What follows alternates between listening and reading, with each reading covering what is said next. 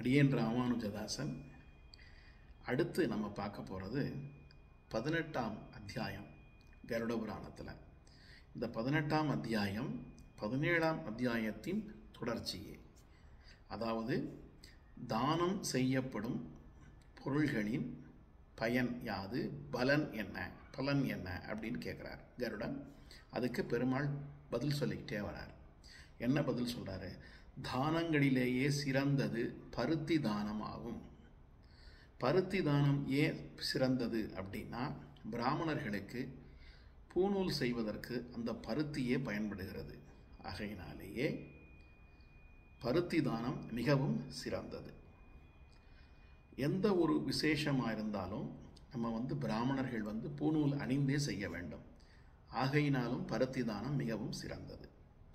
பருத்தி தானம் செய்தவன் இறந்த பிறகு சிவலோகம் சென்று அங்கு பல ஆண்டுகள் சந்தோஷமாக வாழ்ந்து பின்பு மறுபடியும் ஒரு நல்ல குடும்பத்திலேயே பிறந்து நல்ல பத்தினியை அடைந்து நீண்ட காலம் வாழ்ந்து பின்பு மோட்சம் அடைகிறான்.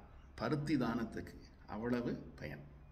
மற்ற தானங்கள் என்னென்ன அப்படின்னா திலதானம் கோதானம் பூதானம் ஸ்வர்ணதானம் தானிய தானம் அஞ்சு வகையான தானம்.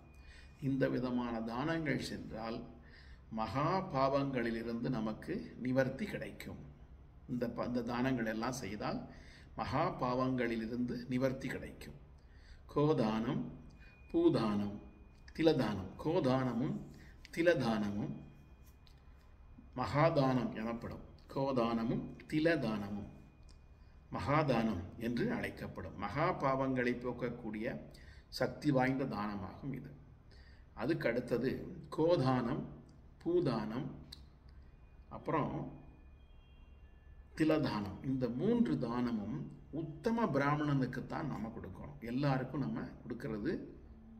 இப்போ வந்து மற்றவங்க நமக்கு தெரிஞ்சவங்க பெண்கள் பெண்கள் இது மாதிரி ஏழை பெண்கள் இவங்களுக்கெல்லாம் எதேச்சியாக கொடுக்கலாம். அதாவது வந்து ஒரு உத்தேசம் பண்ணி கொடுக்கலாமே ஒழிய தானமாக கொடுக்க இயலாது கொடுக்கக்கூடாது.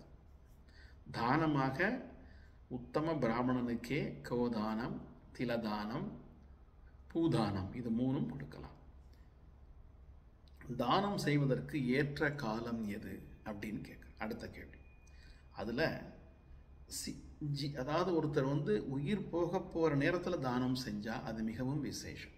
அது மாதிரி செய்கிறதுக்கு எத்தனை பேருக்கு கொடுப்பினை தெரியல? கர்ணனுக்கு அந்த கொடுப்பினை இருந்தது. உயிர் போகும் நேரத்தில் அவன் தன்னுடைய புண்ணியங்களை கிருஷ்ணருக்கு தானமாக கொடுத்தான். இல்லையா? கிரகண காலத்தில் தானம் செய்கிறது மிகவும் விசேஷம்.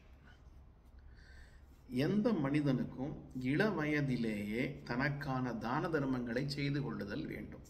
அதனால் சின்ன வயசுலேருந்து தானம் செய்வதை ஒரு ஹேபிட்டாக வச்சுக்கணும்.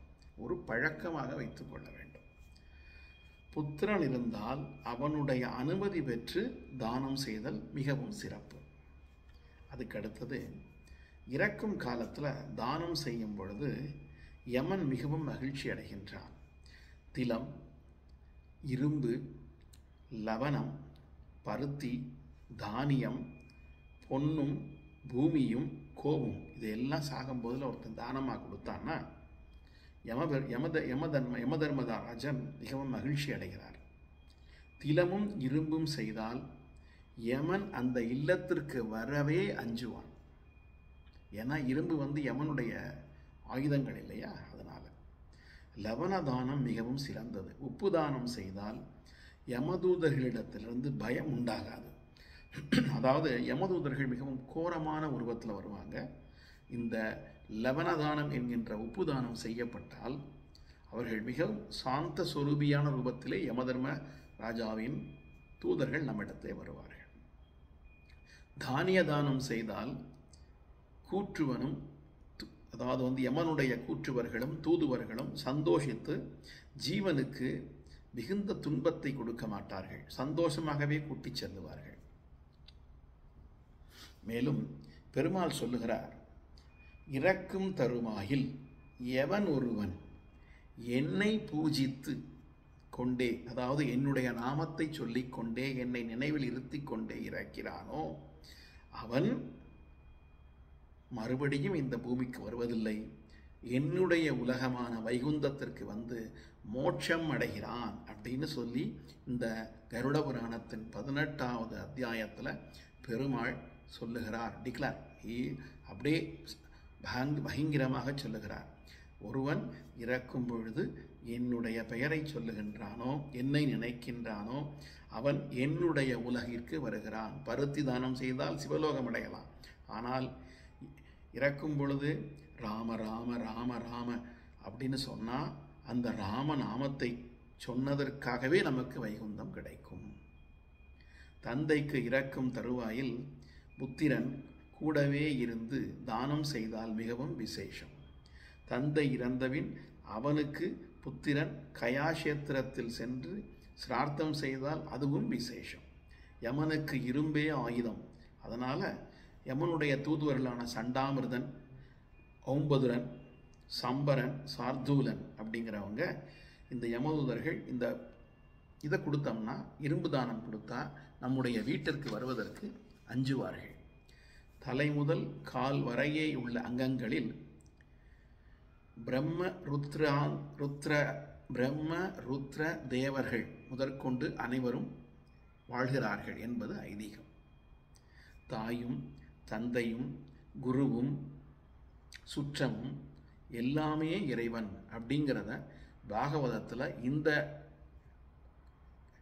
அத்தியாயத்தில் சொல்லியிருக்காங்க. அதாவது கருட புராணத்தில் இந்த அத்தியாயத்தில் சொல்லியிருக்காங்க.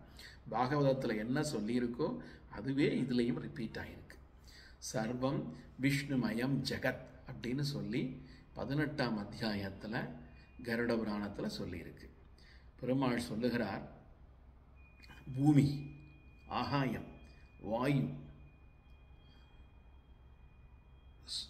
ஸ்வர்க்கம் தானியம் ஸ்வர்ணம் தானியம் தேனும் நெய்யும் கோவும் இவை யாவும் எல்லா இடத்திலையும் விஷ்ணு நிறைந்திருக்கிறார். ஒன்றை கொடுப்பவனும் ஒன்றை வாங்குபவனும் விஷ்ணுவாகவே இருக்கிறார் இந்த உலகத்தில். யாருமே எ- என்னையன்றி மற்றொருவர் இல்லை அப்படின்னு சொல்லி விஷ்ணு கருட புராணத்தின் பதினெட்டாம் அத்தியாயத்தில் சொல்கிறார் ஜீவன் பூர்வத்தில் செய்த கர்மத்தின் பலனாகவே பாப புண்ணியங்களை அனுபவித்து முடிவில் இறக்கிறான் அப்படின்னு சொல்லி இந்த அத்தியாயத்தை நிறைவு பண்ணுறார் பதினெட்டாம் அத்தியாயத்தை. சர்வம் ஸ்ரீ கிருஷ்ணார்ப்பணம்